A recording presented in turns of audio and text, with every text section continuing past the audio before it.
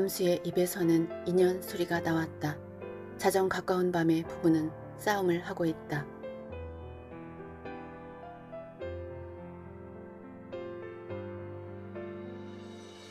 안녕하세요. 댕댕이와 채글입니다. 오늘 들려드릴 작품은 김남천 작가님의 철을 때리고입니다. 김남천은 1911년 평안남도 성천에서 태어났습니다. 일본 호세이 대학을 중퇴하고 카프에서 활발하게 활동했으며 조선중앙일보 기자, 인문평론, 편집장을 거쳐 조선문학가동맹 중앙집행위원회 서기장, 월북후 북조선 문학예술 총동맹 서기장을 지냈습니다. 이 작품의 주인공 차 남수는 왕년의 사회주의자로서 무슨 무슨 개의 거두였습니다. 6년 동안 감옥살이를 하다 출감했지만 출감 후 3년 동안이나 직장을 얻지 못하죠. 결국 그는 변호사 허창훈에게 빌붙는 존재가 되고 맙니다. 주인공 차 남수는 생활고에 시달려 예전의 신념을 잃어버리고 속물화된 아내와 비열한 김준호에 대한 증오를 대래 현실 생활과 타협한 자신에게 돌립니다. 이 작품은 1930년대의 지식인의 내면을 가장 잘 보여주는 작품이라고 볼 수 있습니다. 이제 작품 속으로 들어가 보겠습니다. 편안한 시간 되십시오. 철을 때리고 김남천 그날 밤 11시가 넘어 준호와 헤어져서 이상한 흥분에 몸이 뜬 채 집에 와보니 이튿날에나 여행에서 돌아올 줄 알았던 남편이 10시 반차로 와 있었다.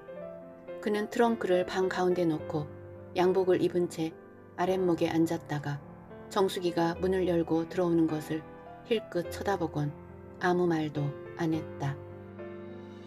한참 뒤에 어디 갔다 오느냐 고 묻는 것을 바른대로 준호와 같이 저녁을 먹고 산보한 뒤에 들어오는 길이라면 좋았을 것을 얽김에 친정 쪽 언니 집에 갔다 온다고 속인 것이 잘못이었다. 그 말을 듣고 남수는 불만은 하나 어쩔 수 없는 듯이 세가는 없어도 집은 그리 비우면 되겠소 하고 나직이 말한 뒤에 그대로 윗방으로 올라가서 자리에 누웠다. 정숙은 준호와 저녁을 먹고 산보한 것이 감출만한 것도 안 되는 것을 어째서 자기가 난생 처음 거짓말을 하였는가 하고 곧 후회되었으나 준호와 산보하던 때의 기분으로 보아 준호도 그것을 남수에게 말하지 않았을 것이라 생각하고 다시 두말 없이 그대로 아랫방에 자리를 깔았다. 그것이 오늘 남수가 저녁을 먹고 나가서 준호와 만났을 때 탈로가 난 것이다. 하리라고는 생각도 않았던 준호가 무슨 생각으론지 남수에게 그 말을 해버렸다. 참으로 모를 일이다. 물론 준호 역시 말해서 안 될 만한 불순한 행동을 하지는 않았다. 그 역시 그만 일을 숨기느니보다 탁 털어놓고 농담으로 돌리는 것이 마음에 시원했을 것이다. 그는 늘 남수를 우당 선생이라 부른다. 우당 선생 부재 중에 부인과 산보 좀 했으니 그리아우 쯤 말하고 껄껄 웃었는지 모른다. 아니 준호의 일이니 내가 핸드백이 된 셈이요. 어쨌거나 우당 선생 주의하시오. 그만 연세가 꼭 수알로를 기르고 싶을 시기입니다. 정도의 말은 했을 것이다. 이런 농담을 들을 때 남수는 얼굴에 노기를 그릴 수는 없었으나 마음만은 몹시 불쾌하였을 것이다. 가랫물을 먹은 듯한 찡그린 얼굴로 애써 웃어보려는 남수의 표정이 생각된다. 원체 자기네들이 남수에게 그날 밤 일을 어떻게 말할까, 다시 말하면 속일까, 바른대로 말할까, 또 말한다면 어느 정도로 고백할 것인가를 협의에 두지 않은 것이 실수였다. 그러나 그런 협의를 해둘 만큼 그들은 남수에게 죄를 짓고 있다고는 생각지 않았다. 그런 죄를 의식하고 그런 협의를 할 필요가 있다고 생각했다면 그들은 적어도 양심의 가책 때문에 산보까지도 중지했을 것이다. 그날 밤의 산보. 그것은 정숙이 혼자만의 생각인지는 몰라도 물론 단순하게 길을 걷고 불이 아름답다느니 얼마 안에 꽃이 피겠느니 하는 것으로 시종된 것은 아니었다. 입으로 나온 말은 그 정도인지 몰라도 정수기가 가졌던 흥분만은 이상하게 높았던 까닭이다. 어쨌든 그 말이 준호의 입에서 탈로가 나서 그 자리에선 웃고 만 모양이나 밤에 돌아오는 대로 남수는 정숙에게 치근스럽게 트집 비슷한 말을 걸었다. 그것이 벌어져서 드디어 싸움이 되었다. 지금 정숙은 팔을 걷어붙이고 남편에게 대든다. 왜 그랬으면 어떠? 속였으면 어떠? 밥 먹고 산보한 건 좋으나 속인 게 불쾌하다고? 밥 먹고 산보만 할 줄 안다면 속였다고 불쾌할 게 뭐유? 그 이상 딴짓을 했으리라는 더러운 생각이 없다면 불쾌할 게 뭐유? 내가 그날 밤 속인 건 털어놓고 말하면 오똑하니 양복을 입은 채 맹초같이 앉아있는 게 불쌍해서 속인 거유. 그래 어린애가 돼서 옷을 벗기고 자리를 깔아줘야 돼요. 언제 온다는 통지도 없는 걸 허구한 날 당신만 기다리고 있어야 옳소. 사흘밤이나 기다렸수. 이날일까 저날일까 기다리다 지쳐서 저녁 전에 거리나 한 바퀴 돌려고 나갔댔수. 돌아오다가 길에서 만나서 준호 씨와 저녁 먹은 게 그리 큰 잘못이구려. 저녁 먹고 집에 와서 할 것도 없고 심심만 하겠기에 같이 산보 좀 한 게 큰 잘못이구려. 왜 그렇게 차려놓고 있다 맞아들이는 게 좋거들랑 기다리는 사람 생각도 좀 해보죠. 전보치고 온다는 걸 내가 일부러 나가고 집을 비워두었던가. 뭐였대요? 그게 속인 변명이 되느냐고? 안 되면 말이어요. 애써 변명하는 건 아니니 만일 내가 일이 있어서 언니 집에 갔다 온다고 안 했다면 그날 당장에 오늘 같은 싸움판이 벌어졌을걸. 그래 그때 준호 씨와 밥 먹고 산보한다 온다고만 말했으면 거참 잘했군 하고 칭찬할 뻔했소. 뭐시? 씨는 무슨 씨냐고? 당신의 친구를 대접해서 부르는 거요. 준호씨 준호씨 자꾸 씨자를 넣어 부를걸. 그 입에 발린 소리 좀 작작해요. 그날 밤으로 당신이 엉뚱한 시기를 했을게요. 질투에 불이 붙어 밤잠도 못 잘게 불쌍해서 속인 겐 줄도 모르고. 왜? 어때? 흠, 너 같은 것에게 질투는 무슨 질투냐고? 그래 지금 하고 있는 당신의 생트집은 질투가 아니고 질투 사친이요? 당신은 몇 살이고 내 나이도 반 70에 당신은 내일 모레면 40이 아니요? 어제 오늘 길거리나 술집에서 만난 사람들인가? 오라 오라 내가 아무리 주리대를 안길려니면 그런 어린애들과 치정관계를 맞으려고? 푸 그만둬 그만둬 그럼 그게 그 소리지 뭔가? 그래 오라 오라 멋이 어째? 남이 말도 하기 전에 발이 제린 거라고? 저지른 죄가 있어 미리부터 넘겨 짚어본다고? 그래, 내가 행실을 망쳤단 말이지. 이 쓸개 빠진 소리 좀 그만두어요. 사나이가 오죽 못났으면 제 옆편네가 바람이 날라고? 저도 저 부족한 줄은 아는 게다. 어째서 준호 보고는 못해봤노? 눈앞에 자기 원수를 놓고 왜 아무 말 못하고 웃기만 했나? 그리고는 지금 와서 나보고 이 야단인가? 흠, 쟤는 준호에게 있는 게 아니라고? 속인 것이 죄라고? 그래도 자기 옆편네가 남에게 농락되었다는 생각은 갖고 싶지 않은 게지. 무엇이 어째? 인연이라고 인연? 말 잘했다. 반말하는 년 인연이라고? 그러면 어떠냐고? 잘했다. 무엇이 더러운 년? 더러운 걸 볼라면 거울을 보고 말해. 누가 더러운 놈인가? 제 옆편네를 농락했노라고 비웃는 놈을 앞에 놓고 뺨 한 개 못 갈기고 씁쓸히 돌아와서 옆편네 보고 속인 게 잘못이라고? 왜? 준호한테 내가 반했어. 그랬으면 어떡할래요? 당신에게 준호에게 있는 게 있어? 더러운 놈하고 누가 살라는가고? 응, 안 살아도 좋다. 차남수 아니면 서방할 사람 이 세상에 없는 줄 아는가? 차남수가 하늘 같아서 내가 이 생활을 하고 있는 줄 아는가?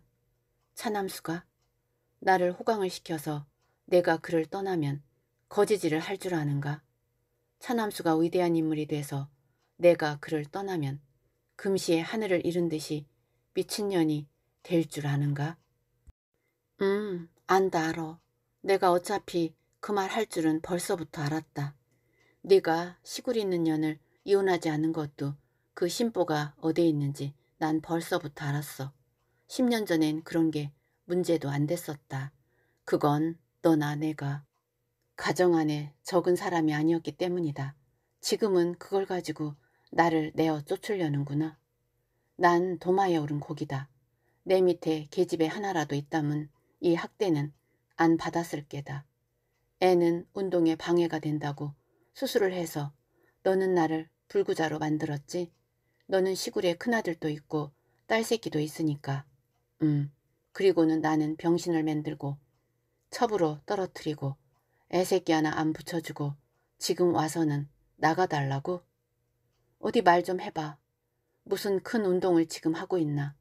어째 나와 속이고는 아이 만나러 시골은 다녔나?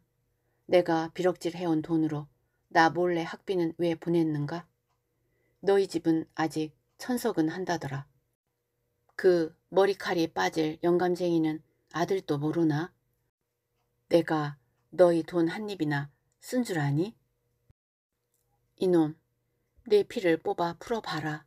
그 피가 무엇으로 뛰고 있는가? 누구 때문에 아직도 피가 내 몸에 돌고 있는가? 누가 너를 옥중에서 구해냈노? 내가 감옥에 있는 동안 6년이란 허구 긴 날, 너는 그래도 전보질을 해서 나를 부르두구나. 차입도 날 보고 시키두구나. 내 집에선 그때 돈 한 푼 보탠 줄 아냐? 영감도 할미도 내 본 계집도 그때만은 아는 척도 안 하더구나. 친정에서 친구들한테 별별 굴욕을 겪어가며 너에게 옷을 대고 밥을 대고 책을 대는 동안 내 영감은 아들이 오게 간건 그 몹쓸 년 탓이라고 물을 떠놓고 빌더라더라. 어서 그년이 죽어야 아들이 화를 면한다고. 그래도 그런 소리도 내겐 내게 우스웠다. 난 너를 구해내려고 뼈가 가루가 되도록 미친년같이 헤매었다. 그래 지금 와서 그 보수로 나는 너한테 헌신짝같이 버림을 받아야 하느냐? 너한테 10년 동안 뼈가 가루 되도록 해바친 게 죄가 돼서 인연 소리를 듣고 더러운 욕을 먹어야 되니? 입이 밑구멍에 가 붙어도 그런 말은 못하는 법이다. 입이 열 개래도 그런 수작은 못하는 법이다. 감옥에서 나왔어도 벌써 3년이 되건만 내가 쌀 한 마를 사왔나? 내 계집 속옷 하라고 융한 자를 사왔나? 흥, 허창훈이? 그렇다. 허 변호사 그놈이 미친놈이다. 너를 여태껏 먹여오는 그놈이 미친놈이다. 아니, 너는 세상에서 뭐라고 하는지는 알고 있니? 하 변호사는 영리한 놈이라 차남수가 옛날에 무슨 무슨 게 거두니까 돈이나 주어 병정으로 쓰고 제 사회적 지위나 높이려고 한다는 소문이나 너는 알고 있니? 또 차남수는 자기가 이용되는 줄 알면서 그것을 거꾸로 이용하여 생활비를 짜낸다는 소문을 너는 알고나 있니? 그래, 그게 청렴한 사람의 소위 청이 불문이냐? 응, 그놈 허차운이 놈. 내 오늘에야 이 말을 한다. 너는 그 집에 가서 구구한 말 한마디 하기도 싫어서 돈 관계엔 늘 나를 내세운 걸 알고 있지.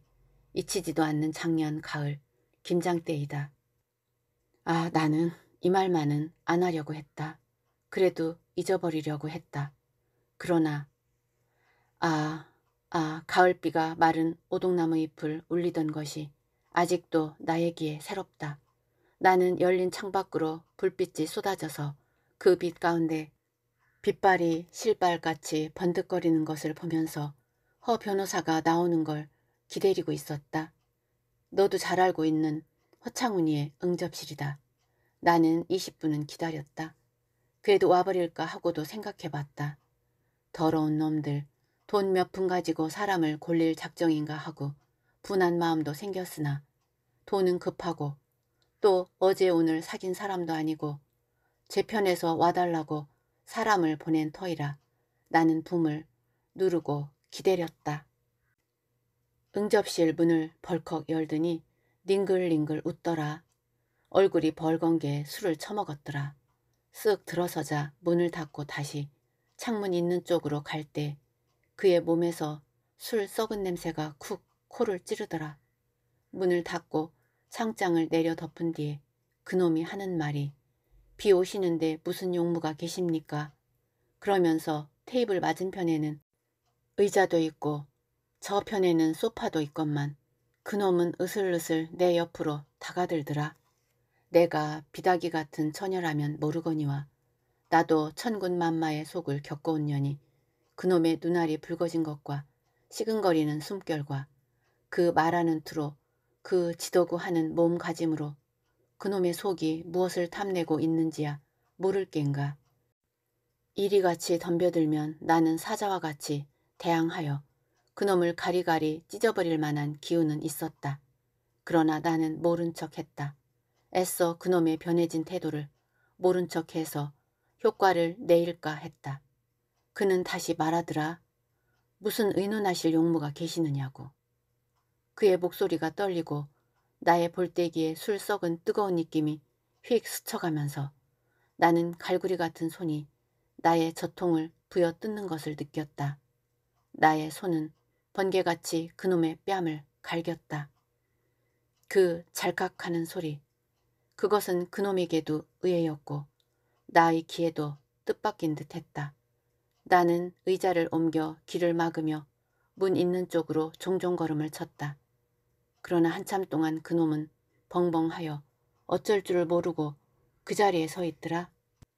그 짧은 순간 변호사 허창훈이도 그가 한 행동에 대하여 반성했을 게고 현관으로 뛰어나오며 나도 내가 당하고 또 행동한 것에 대하여 생각했었다. 나는 슬펐다. 눈물이 연거푸 볼편으로 쏟아져 흘렀다. 나는 때렸건만 맞은 때보다도 분하였다. 나는 신을 어떻게 신었는지 모른다. 나는 비를 맞으며 오동나무와 노가지나무와 전나무 사이를 지나 대문 있는 쪽으로 걸어갔다. 정숙 씨, 정숙 씨 하고 부르는 소리가 등 너머에서 나더라. 물론 허창훈이가 뒤쫓아오는 것이다. 그는 나뭇잎이고 나뭇가지고 풀숲이고 분간 없이 비 내리기 시작하는 뜰 안을 뛰어오더라. 그리고 나를 붙들더니 벌써 그 앞에 엎드려 죽을 죄를 용서해달라고 빌더라. 나는 발길로 찰까 했다. 그러나 잠깐 그것을 내려다보다가 그대로 그를 비껴 대문을 향하여 걸었다. 그는 다시 쫓아와서 봉투를 내밀더라.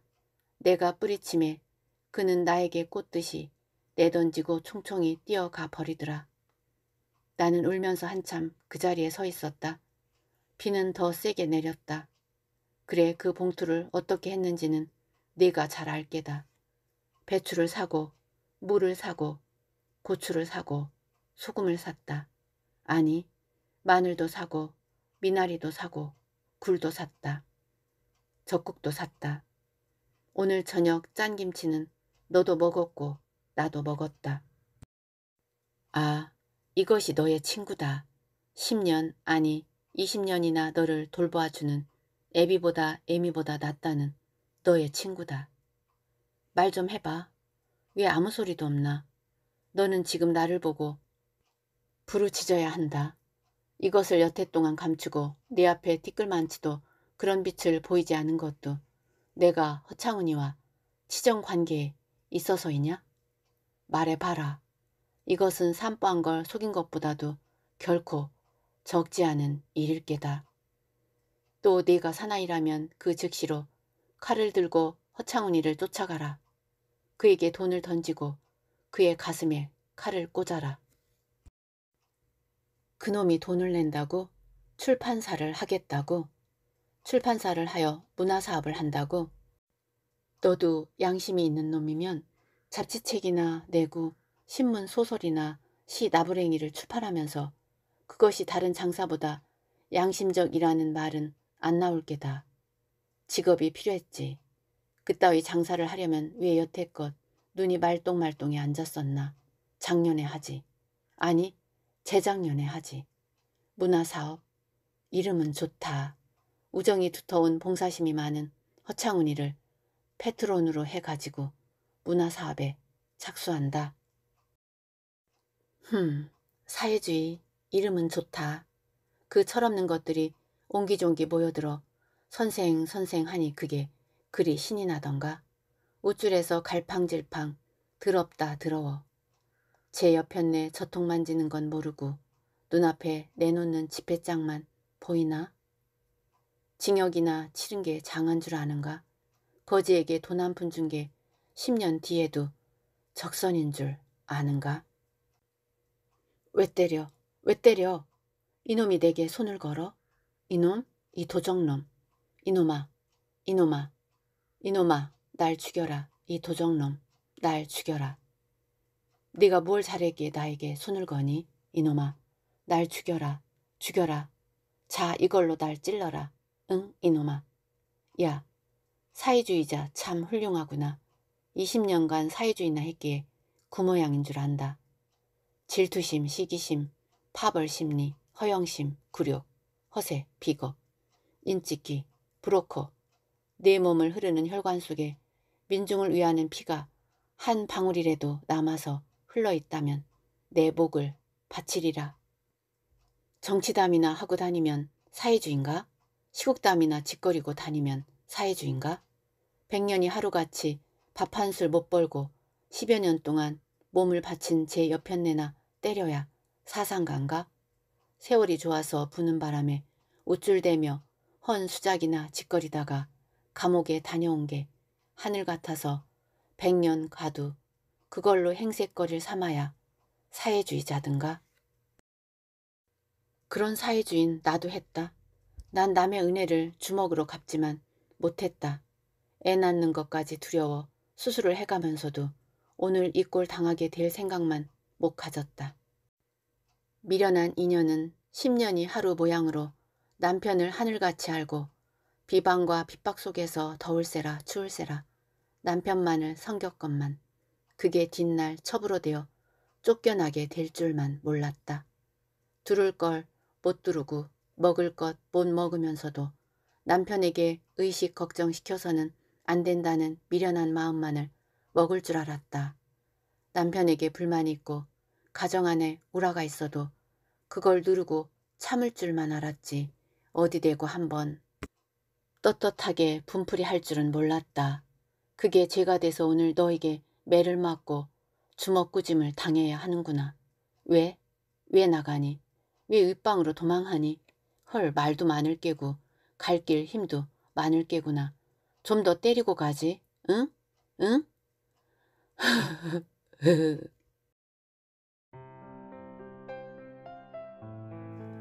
힘없이 그는 쓰러진다.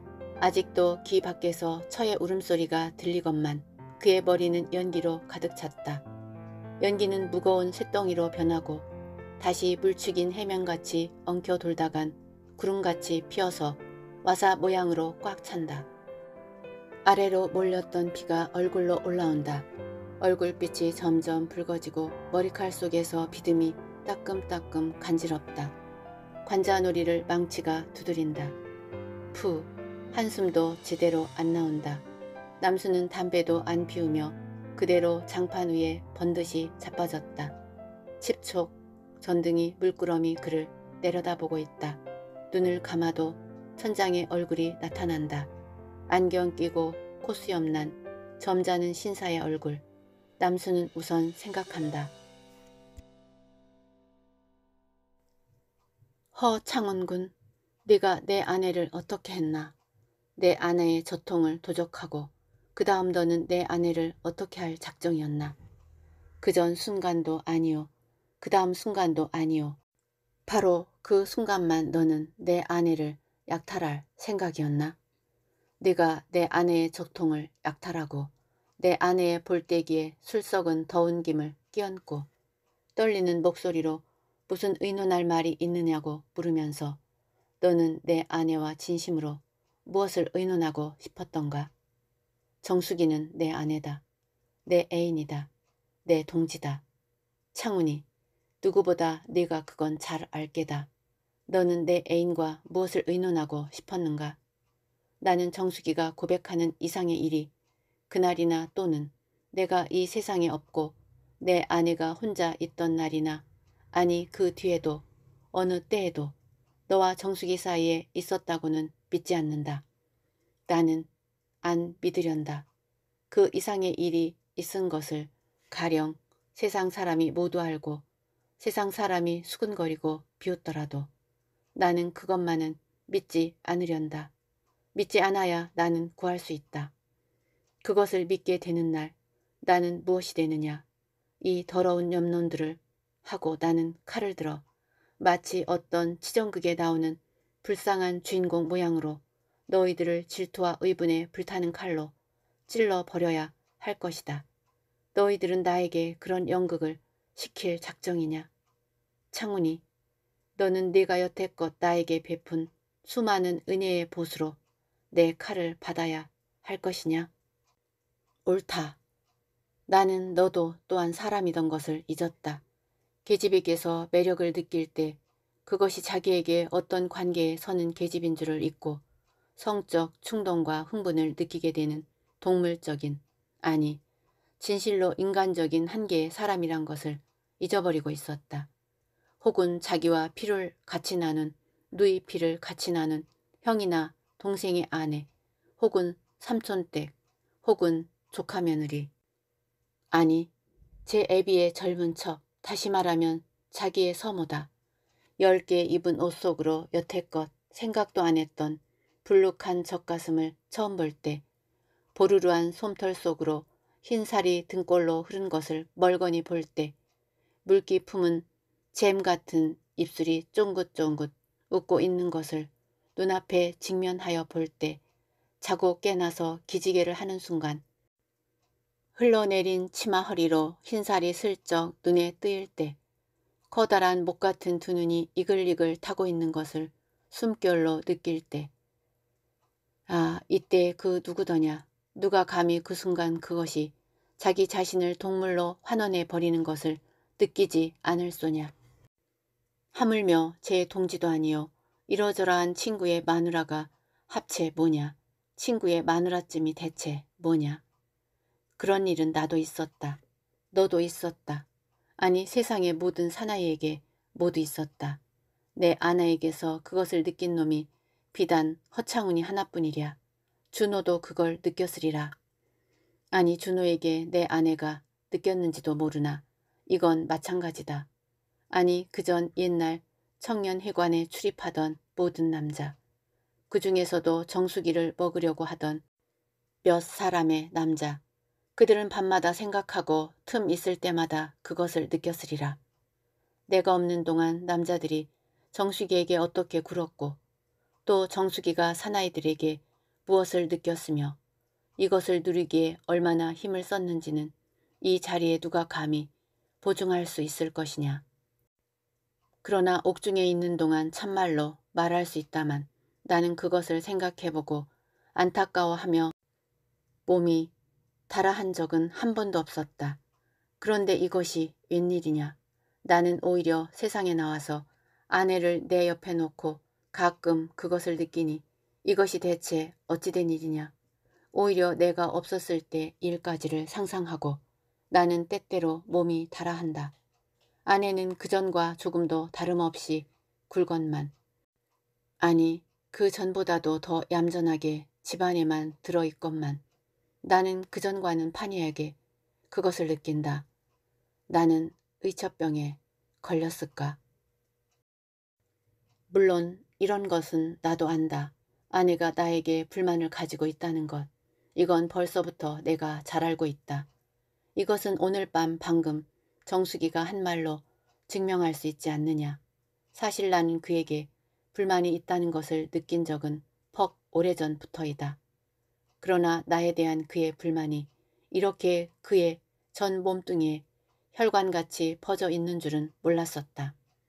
그가 말하는 모든 불만, 그가 내게 대들며 상아떼지를 하듯이 들 씌우는 모든 불평이란 것들이 하나도 거짓은 없고 그것 전부가 사실이라 할지라도 그리고 나 역시 그것을 희미하게나마 생각하고 있었다 할지라도 나는 그것이 정수기의 몸에 그렇게 뿌리 깊게 적어도 그러한 형태로 퍼져 있는 줄은 상상하지 못하였었다.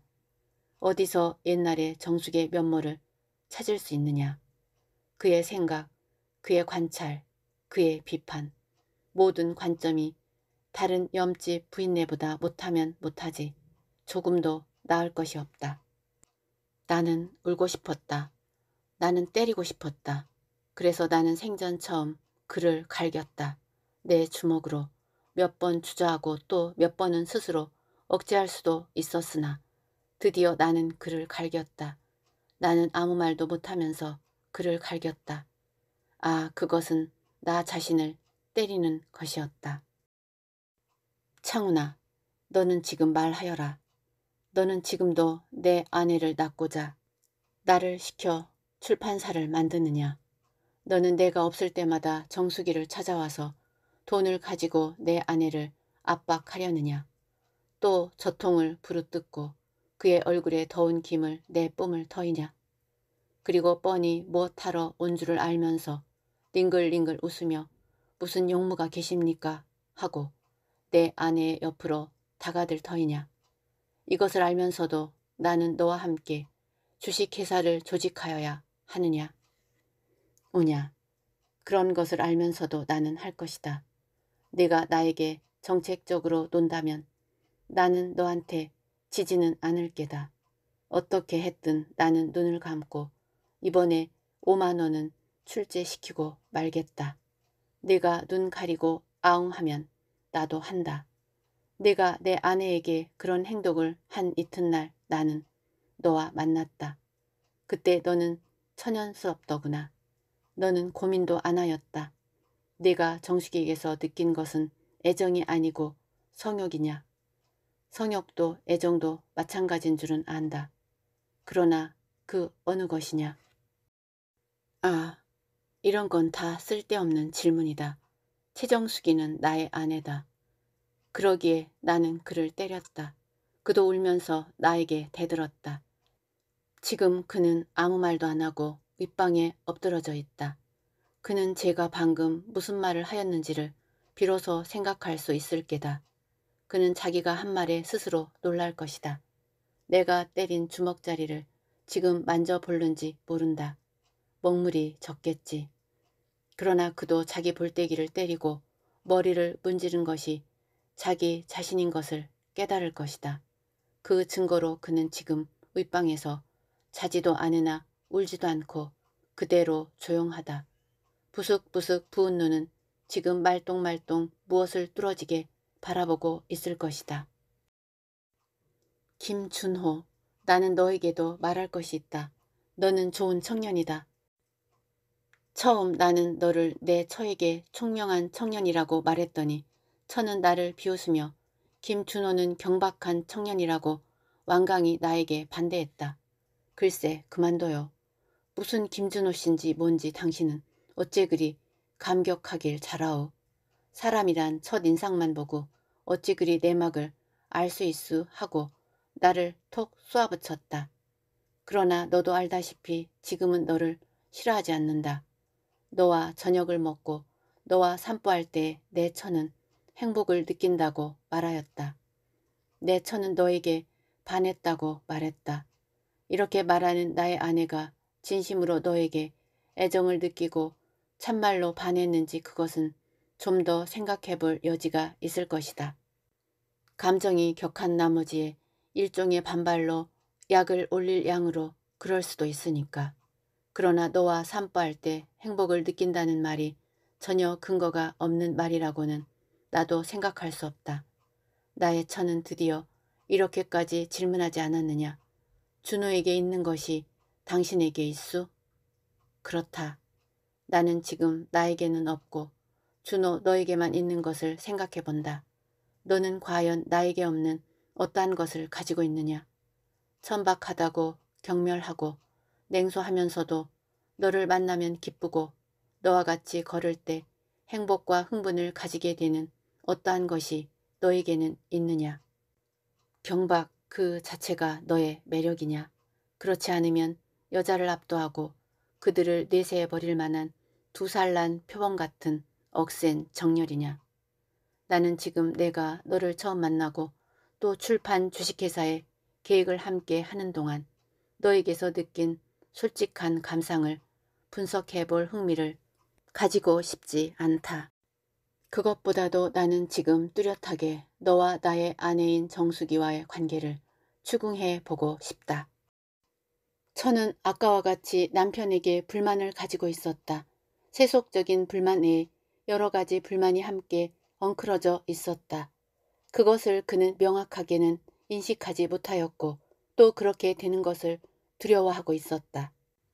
그러나 그의 몸에는 이 불만이 흠뻑 젖어서 구석구석까지 침윤되어 있었던 것을 지금 깨달을 수 있다. 너는 그런 때 우리들 앞에 나타났다. 찬란 하나 포착할 수 없고 경쾌 하나 걷잡을 수 없고 편협한 듯 하면서도 자기 행동에는 지극히 관대하고 무겁지 않으나 어디로 흐르는지 알 수 없는 굴신 자제한 성격. 이것이 정수기의 눈에 강렬한 자극을 준 것이 사실이다. 그러므로 당장에 그는 반발하였다. 그까짓 경솔하고 천박한 자식, 신문 기자란 불황자가 아닌가. 이렇게 그는 입으로 공언하고 자기 내심에도 타일렀다. 그러므로 그는 너의 말에 내가 찬성하여 허창훈이와 기타 호남 지방에 있는 돈 있는 이들을 움직여 출판사와 인쇄소의 주식회사를 만들려는 것을 속으론 비웃었을 것이다. 그런 놈하고 무슨 사업이냐. 그러나 그는 경멸하고 기피하고 증오하면서도 아니 그렇기 때문에 더욱더욱 너에게서 오는 자극을 1층 강렬하게 받았다. 나는 지금 나 자신에 대하여 끝까지 잔인하면서 이것을 추궁해 본다. 이렇게 하는 것은 나 자신에 대한 모욕이다. 나는 그것을 느낀다. 제 여편네가 나이 어린 젊은 녀석에게서 제 서방에게 없는 매력을 느껴 그것에 끌려 들어가는 것을 냉혹하게 관찰해 나가는 과정은 준호야 네게는 아무것도 아닐지 모르나 나에게는 큰 고통이다. 준호야 너는 아마 다른 계집을 대하는 듯이 내 아내에게도 대하였을 것이다. 사실 네가 내 아내의 어느 곳에 매력을 느꼈을는지는 도저히 상상할 수 없기 때문이다. 그러나 나는 네가 여자에게 대하여 취하는 태도를 알고 있다. 그것은 의식하건 안 하건 여자에 대한 너의 비결이다. 너는 그것을 아무 여자에게도 사용한다. 여급 기생처녀, 남의 부인, 더구나 권태기에 빠져있는 중년 부인에게는 상당히 강렬한 자극이 된다. 언뜻 보면 여자에게 흥미를 가지고 호의를 느끼는 듯이 보이면서도 또 그렇지 않게 보이는 것. 다른 사람들은 낯을 불키고 부자연한 태도를 가지고야 말할 수 있는 것을 대본에 싱글벙글 웃어가며 참말같이 또는 녹말도 같이 말해 버리는 것. 이런 것이 여자에게 흥미를 던져준다. 어떤 때는 사랑하는 남자같이 행동하나 또 어떤 때는 전혀 딴 사람같이 대해준다. 누가 자기의 애정을 고백하면 너는 여지없이 그를 환멸의 심연으로 떨어뜨린다. 그러나 그가 완전히 단념해 버리도록 거절도 안 하고 어디에곤 야릿하게 한 줄기의 실오라기를 붙여둔다. 너는 거침없이 표범과 같이 날쌔게 그들의 눈앞에서 정력을 휘두른다. 네가 그 이상 숨어서 이러한 여성들에게 어떤 행동을 취하는지는 나는 알 수 없다.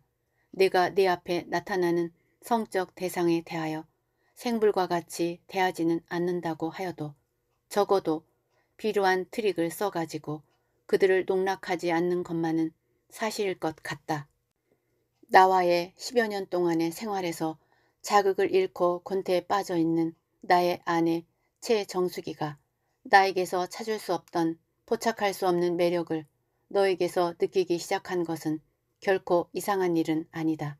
나는 퍽 전에 이것을 느꼈다. 무엇보다도 정수기에 지나치게 심한 너에 대한 과소평가에서 나는 언뜻 그것을 느꼈다. 하루는 정수기가 저녁녘에 종로를 다녀오더니 이렇게 나보고 말하더라. 백화점에서 나오다가 바로 문 옆에서 준호 씨를 만났는데 웬 양장한 여자와 웃고 짓거리더니 내가 물끄러미 서서 보는 것을 눈치채곤 그대로 인사하고 갈라지지 않겠소? 그래서 여자와 갈라지더니 시침을 떼고 내게로 오길래 풍경이 아름답구려 했더니 흥흥하고 코웃음을 치며 둘이 한번 그런 풍경 만들어 볼까요? 하겠지? 그래 내가 어린 것이 그게 무슨 버릇없는 소리냐고 했더니 그럼 제 지었으니 차라도 어디서 먹읍시다. 그러곤 어딘지 낮에는 차 팔고 밤에는 술 판다는 무슨 바인가를 앞서서 갑디다. 가면서 하는 말이 이제 그게 영화 배우인데 저통 크기로 유명하오 하면서 싱긋싱긋 나를 보는구려. 그 하는 수작이 너무 천하고 품위가 없어서 욕이라도 해줄까 했으나 원체 버들까지 모양으로 바람이 몰아치면 부러질 사람이요. 그런데 또 찻집에 들어가서 하는 것이 장관이죠. 당번 여급이 보아하니 활량인데 이걸 턱 옆에다 앉히더니 자 내가 하나 물으니 대답하면 내가 한 턱 내고 지면은 너희 제일 귀한 걸 내게 바쳐야 한다. 또 나도 제일 귀한 걸 바치라면 그걸 걸어도 좋지. 이러고는 그 앞에 있는 네모난 흰 종이를 쓱 들더니 자 이게 무슨 그림인가? 여급이 아무리 봐야 백지밖에 쳐들고 보아도 안 보이고 스쳐 보아도 안 보이니 그 여자의 대답도 걸작이지 하는 말이 바람을 그렸다. 바람은 눈에 안 보이니까 준호는 고개를 쫑긋쫑긋하며 그 말도 비슷하나 가작이지 걸작일 수는 없다. 내 해석은 이렇다. 이 그림은 토끼가 거북이를 따라가는 그림이다. 거북은 앞서서 이미 이 종이 밖으로 달려가고 토끼는 늦어서 아직 종이까지 오지 못했다. 계집애도 좋아라고 손뼉을 치니 준호 하는 말이 너도 낙제는 아니니 키스 좀으로 용서한다고 막 야단이겠지? 그래 레이디를 앞에 앉히고 그게 무슨 쌍스러운 장난이요? 당신 동무 참 훌륭합디다. 그게 망나니지 뭡니까? 배라먹을 놈. 이 말을 싱글싱글 웃으며 듣고 있던 나는 마지막 말이 나올 때 언뜻 느꼈다. 정숙이 자신이 준호에게 의식적으로 반발하고 있다는 것을 그때 눈치챈 때문이다. 의식적으로 애써 그를 밀쳐버리려는 노력. 그것은 하면 할수록 더욱더욱 그 속으로 밀려 들어가기만 한다. 그러고는 매일에 한두 번은 반드시 내 처가 내 욕을 한다. 까분다, 불황자다, 행실머리 없다. 이럴 때마다 나는 속으로 지금 제가 저 자신과 싸우고 있구나 하고 생각했다. 오늘 밤 싸움만 해도 물론 이렇게 된 일이 아니었다. 정수기가 속인 것에서 시기심을 느꼈다든가 너희들이 산보할 때 무엇을 했을까 하는 것을 쓸데없이 상상하고 질투를 느끼고 트집을 건 것은 아니다.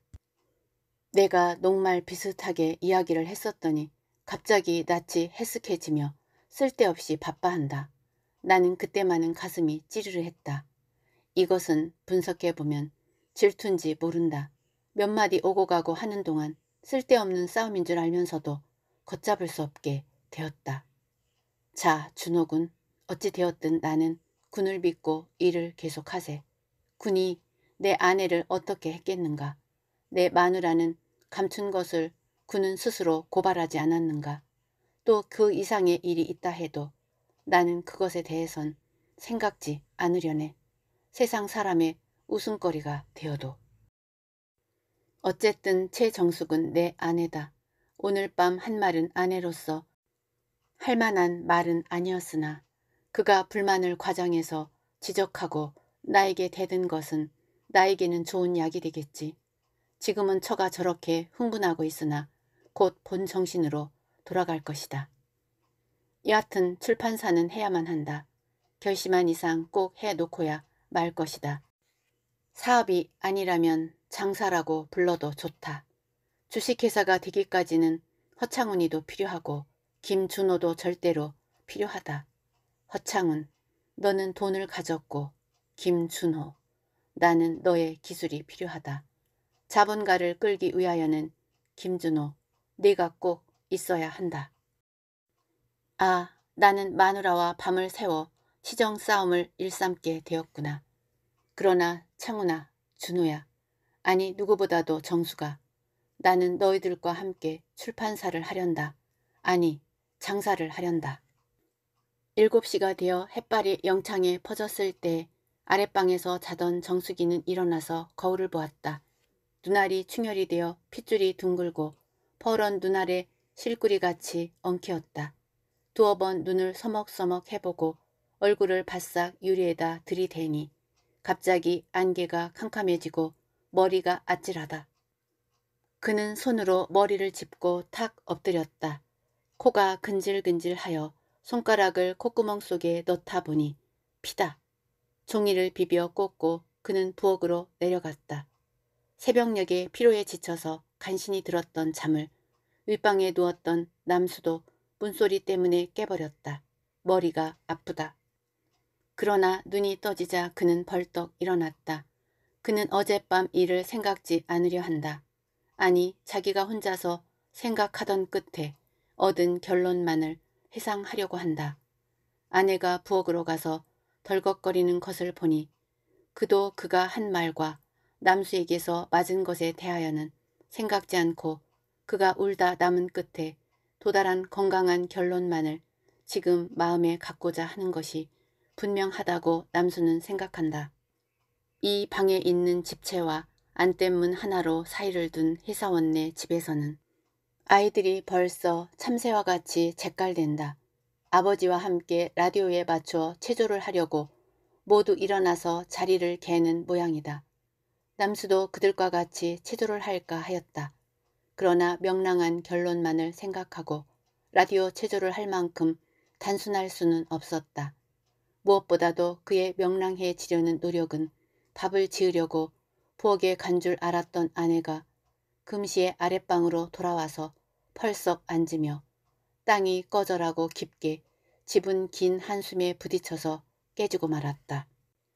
역시 아내는 어제 일을 깨끗이 잊어버릴 수는 없는 모양이다.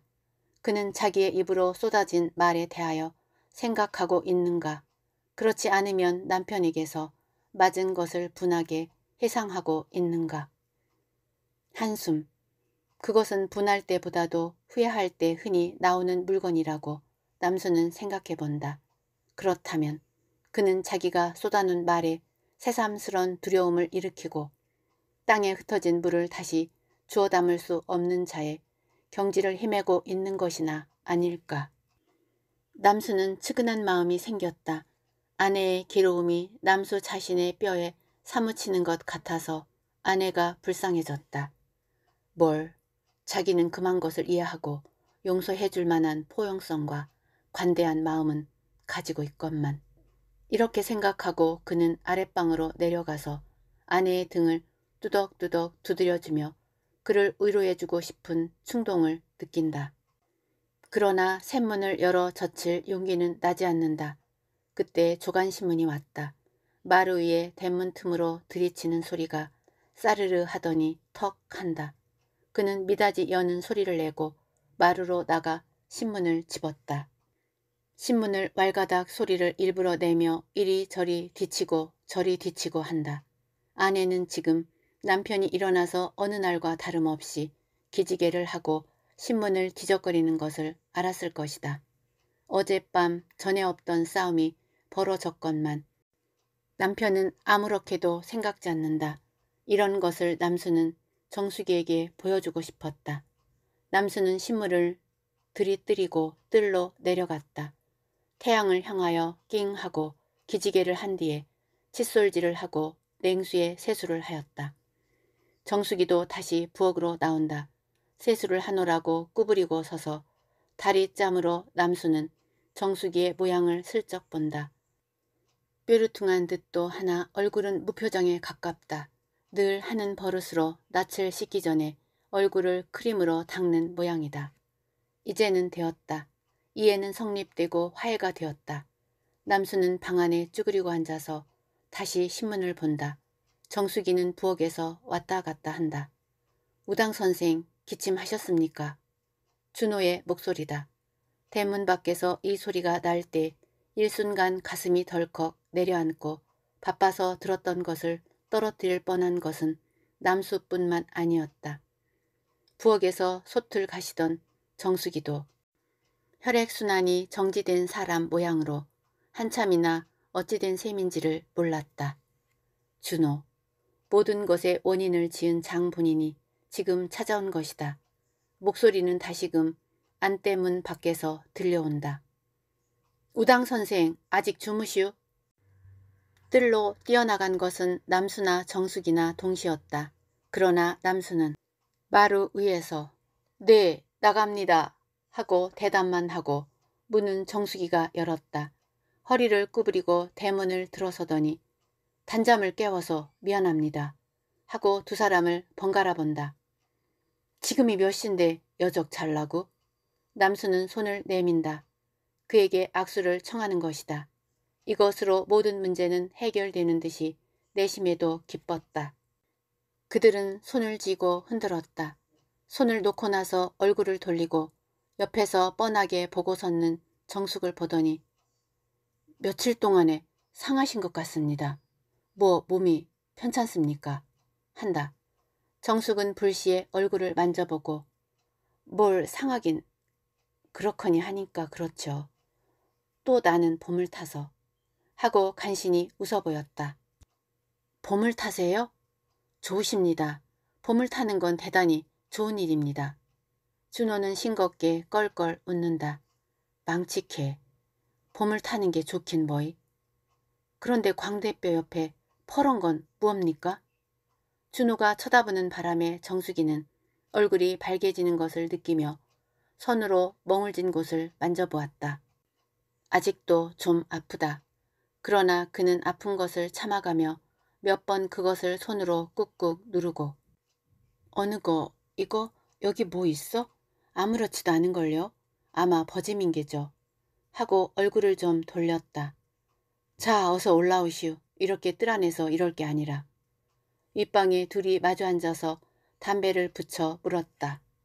뭘 하러 이렇게 어제 저녁에도 만난 사람이 오늘 새벽에 또 찾아왔는가 하고 궁금도 했으나 어쨌건 그가 찾아준 것은 아내와의 화해를 위하여 좋은 기회가 되었다고 남수는 기뻐하였다. 한참 담배를 태우면서도 준호는 용건 낼 만한 말은 꺼내지 않고 잡담만 한다. 그래서 남수는 말이 좀 끊어졌을 때 그런데 오늘은 뭐 누가 돈을 새로 내겠다는 사람이나 생겼소? 미상불 좋은 소식을 가진 것 같은데 하고 준호의 눈치를 보았다. 뭐 용건 없이 놀러는 못 올 집이요?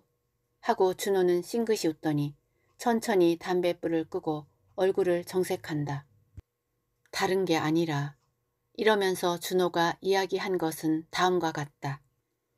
준호는 남수들에게는 비밀이 어느 신문사에 취직운동을 하고 있었는데 오늘 아침에 그것이 결정이 나게 되었다는 것이다. 그러므로 출판회사 조직에는 근무에도 조력은 아끼지 않겠으나 직접 관계는 끊어야 할 것이며 2, 3일 후부터는 출근을 하게 될 판이므로 자기가 나서서 모아놓은 것을 인계해 주겠다는 말이다. 어차피 봉급 생활을 할 바엔 신문 기자를 몇 해 좀 더 해보려고 합니다. 그리고 이번엔 사입으로 가서 총독부 출입을 하라고 하므로 조건도 좀 좋고 또 여러 가지로 배울 것도 있을 것 같아서.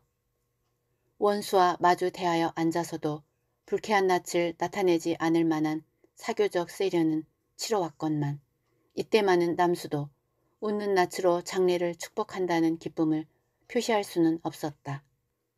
소한테 물렸다는 말이 속담에 있거니와 남수는 이 어린 것한테 한 밥 잘 먹히고 만 것이 되고 말았다. 남수는 말이 잘 나오지 않았다. 속이 찌르르 하고 물 끓듯이 가슴이 부글부글 끓어오른다. 내 마누라를 농락한 놈이 이놈이다. 하는 생각이 새삼스럽게 생겨나며 이놈이 나를 농락하고 말았구나. 하는 분격한 마음이 끓어오른다. 제가 먼저 제안하고 제가 선두에 서서 일을 꾸며놓고는 그 뒤에 숨어서 그는 취직 운동을 하였다. 그리고 일이 막 되어가려고 할 즈음에 돌연히 뱀장어 모양으로 빠져나가는 것이 무슨 행동이냐. 또 종이값이 좀 내릴 것 같더니 오늘 시세도 그만인걸요.